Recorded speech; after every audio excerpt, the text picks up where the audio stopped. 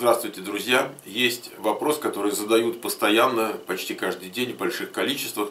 И это вопрос о том, не повредит ли участие в лотерее Green Card, если потом человек захочет получить гостевую, там, бизнес, какую-то еще визу в Соединенные Штаты. История состоит в том, что когда вы попадаете на интервью в посольстве Соединенных Штатов, человек, который с вами ведет разговор, э, у него на экране компьютера есть информация о том, что вы действительно участвовали. То есть, эм, если вас, например, спросили, а вы, кстати, не участвовали в лотерее-то, как вы?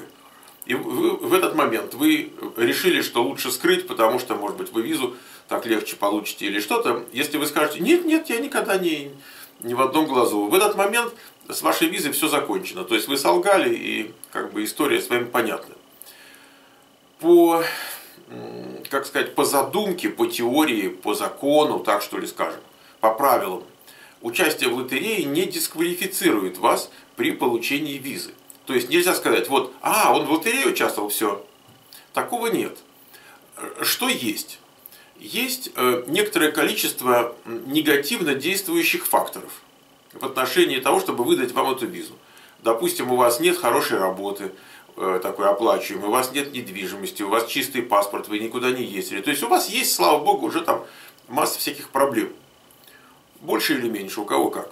И тут вы еще и в лотерее участвовали. Понимаете? И вот тогда вот эта лотерея, она как бы каким-то таким дополнительным камушком, гирькой такой маленькой, вот идет на, на ту чашу весов, на которой находятся все ваши остальные недостатки. Но э, сама по себе лотерея в этом деле никак не участвует вот так Э, в качестве решающего фактора. Этого нет.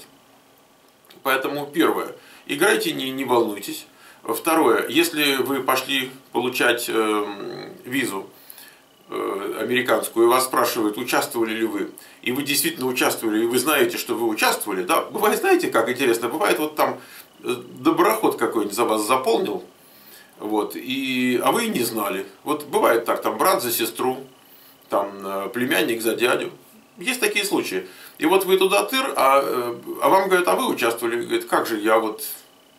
Вот. Так что если вы контролируете, что, что с вами происходит в отношении лотереи, значит вы говорите, да, участвовал, ничего страшного. То есть, во всяком случае, э, переживать по этому поводу не, ста, не стоит. И самое главное, к чему я вот это все клоню, отказываться от участия в лотерее опасаясь, что когда-нибудь это негативно скажется или там запретительно вообще скажется о том, что вам не дадут американскую визу, так делать не надо. Участвуйте на здоровье, оно, оно того стоит. Счастливо.